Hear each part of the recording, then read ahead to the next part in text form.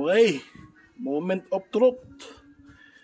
Ah, tatlong putol to eh. Tapos may karga tong coil doon sa gitna sa pangalawang putol. With 4 radials. Yung loading coil niya, ayan.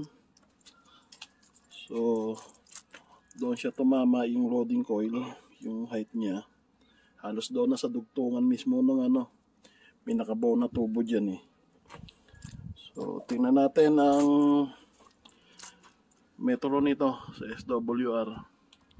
Bali, ang sukat ng tubo ko na ginamit is ano, 1, tapos 0.75, tapos point, uh, 0.50. Ano, 0.62. Inches tayo ha. Hindi ako marunong sa millimeter at centimeter eh. Inches ako. So, 1 inch, 0.75 inch, tapos 0.62 inch. Yan, ang construction na nagawa ko. Tapos yung boom niya, aluminum. Uh, 12 inch yata to. So ito, yung coax niya, naglagay ako ng uh, choke. Uh, G8X lang yan. So, moment of truth. Tingnan natin ang tono nito. So, 140, 1.3. Ito yung SWR reading ha. Ito yung megahertz. So, punta tayo na 141. Ayun, nag-1. Uy! Wow! Flat 1! Ano ba yan? 141. Bali sa 140, tonado na rin. Oh. Hanggang 1.139. Oh, 138. Pandi na. 139 lang. Pwede, pwede pa. 1.6 acceptable pa yan. 1.4 0 flat. 1.4 1 o ba't nawala yung 1 flat? O, 141 ayun, 1 flat. Tapos 142, 1.2 143 1.2 pa rin 144 1.2 ito ang target ko 145 talaga.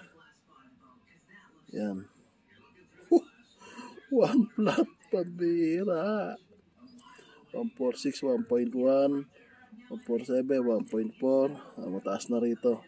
Hindi ko naman kailangan yan. Dito lang kailangan ko 145 dyan lang. Hanep yan po yung ano ginawa ko yung tatlong putol ayan.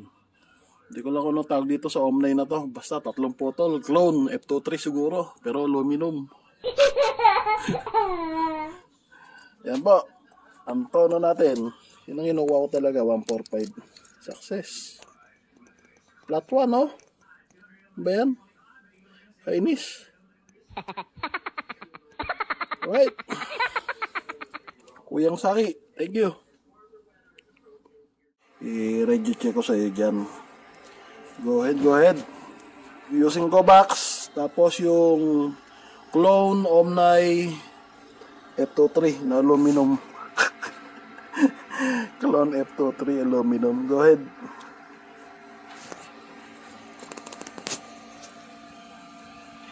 Ayun kaya Selo. Mas maganda yung ano, ah, 5 watt niyan, boom po.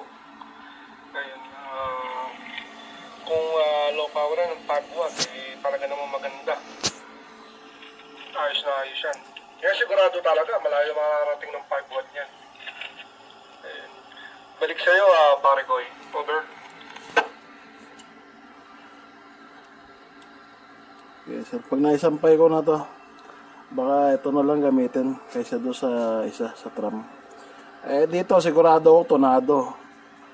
Isa nawala sa tono yun. Ang nangyari doon. Nawala tuloy bilib ko bigla sa tram. Aftermarket na yan. Go ahead.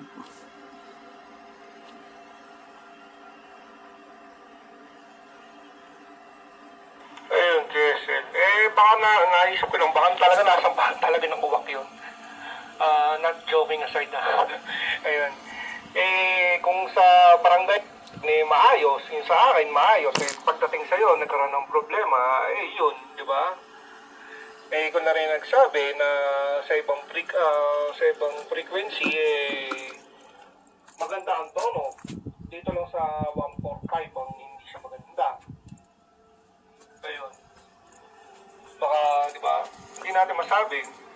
Ewan ko ah, kung may makakapagsabi o may makakapagpayo sa mga nakikinig sa iba-iba, ibang-ibang lugar. Mga kanilang uh, QTH. Baka may maano po kayo, may ma idadagdag o may isi-share kung bakit ganun. Iisang frequency lang ang wala sa tono ng ah, factory tune na antenna na tram ni Kuyang Nelson. Ayun. Pero yung ibang ah, frequency, eh, maayos naman. Maganda ang pagkakatono. Ah, pasok lang po, mag-share po kayo kung ah, meron. Ayan. Balik sa'yo, Victor Echo 4, Kilo Yankee. Victor to. 4, Lima Tango Oscar, for the station ID. Ayan. Sa'yo, mikropono, pare ko, over. Wala pala, ayaw ka na maghanap ng kakampi. Yan mo na. Lekat na tram na yan. Ah, Jer, eh, mas bumibili pa rito sa mga ginagawa ko kaysa doon sa aftermarket. Yan mo na siya. At ah, ito, ito isasampay ko pag nagkaroon ako pagkakataon tong linggo na to. Go ahead. BE4 LT o BE4 Kilo Golf. Over. Okay, panalo. Yes, sila yun. Kasi imposible eh, mas biglang nawala sa tono tapos ganun. Ayun. Ako naman wala namang ano, problema. Ayun, nakakapulot ako ng ah, rubber ducky. Ayun.